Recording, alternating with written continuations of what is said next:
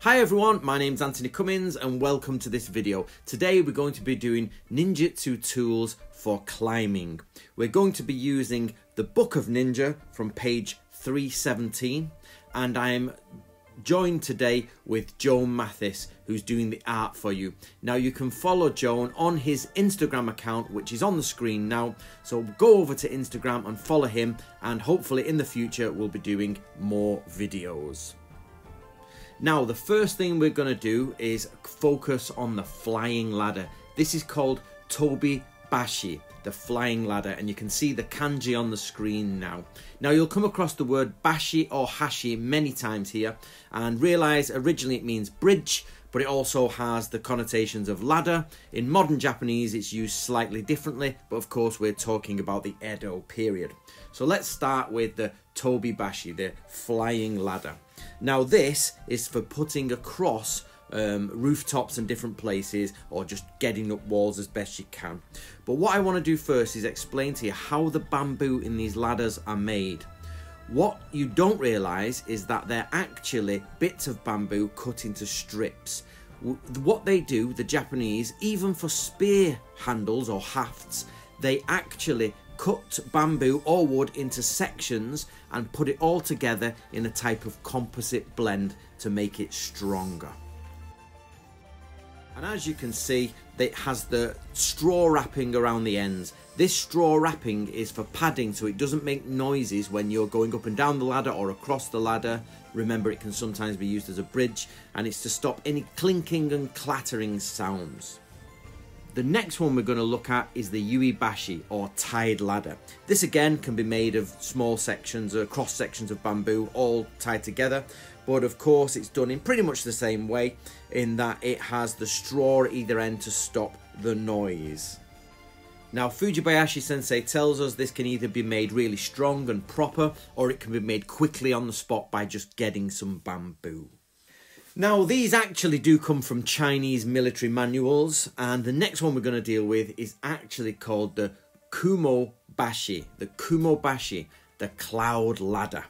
Now, the reason it's called cloud ladder is because you reach the clouds with it. Now, for those geniuses among you, you'll realize that this is actually just the tied ladder and the flying ladder put together. So you double the height of your ladder. So if you've got a small team of shinobi, you can actually put two ladders together. So you've got the stable section at the bottom and the less stable section at the top, and then you can reach higher towards the cloud. This is good for shinobi teams. The next one is Makihashi.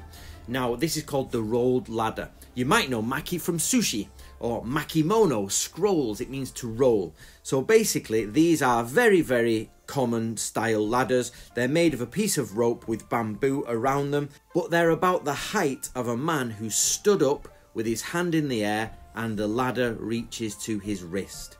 Now remember, Japanese people were about five feet tall, so a hand in the air is probably about six, six and a half feet tall at a guess, and that is the height of these ladders. It's meant to be in relation to your own height. This is the rolled ladder, the Maki Hashi. One really good aspect of this ladder is that you can use two of them and actually climb up a wall by putting them on alternative spikes. So you can literally use two ladders, one person, climb a wall by moving them up by jabbing spikes in, as you can see in the illustration here. Next is the spiked ladder. Now this is called Kagi Hashi, the spiked ladder, the Kagi Hashi, and you can see the small spikes coming off it. Now this is used like a caterpillar moving. You put the spikes in and you into the little holes in walls all the way up the side Japanese castles or fortifications and you go back down and move the spikes up a bit and then use all the ladder to move up inch by inch, uh, like a caterpillar moving, and you just move the bottom up, then move the top up, move the bottom up, move the top up, and you do it in sections bottom, lower section, middle section, higher section, top section, and you keep moving in a, this very strange insect like manner. Now, the next one is called the spider ladder, Kumo Bashi. Kumo Bashi. Now remember, this is the same as Kumobashi, which is cloud ladder. But here is the kanji for Kumobashi, cloud ladder, and here is the kanji for Kumobashi, spider ladder. It's different, okay? It's different. So even though they sound similar, they are different items. This is basically a pulley system. It's something that you take up to the top with one shinobi and then what you do is you lower down the rope with a hook and you have somebody else at the other end and people can climb up it or you can pass tools up it. It's a sophisticated tool for its time. And remember in Japan they didn't have a lot of western traditions here but they were getting um, information from western ships. So this is a form of pulley system of course, we have the basic uchikagi, which is a grappling hook, and we all know how the grappling hooks work. So, just uh, you can imagine a shinobi getting over smaller walls. These are not large walls. The grappling hook is used to get over smaller walls and to descend from heights. Fujibayashi says the actual length of the rope attached to this type of hook is about 4 meters. So that means you could descend from a height of about 4 meters. So it's not massively high. The next one we have is Mitsukagi, the three-pronged grappling hook. Now, as you can see, it's got a small triangular fixture which locks it in place. But the idea is this is a collapsible grappling hook that can be put into position and thrown up but also remember, grappling hooks are not just for throwing up, they're also for descending down. Now the final tool we've got is the Okagi, which is the large hook. Now this is not for throwing, you've got to put this in place.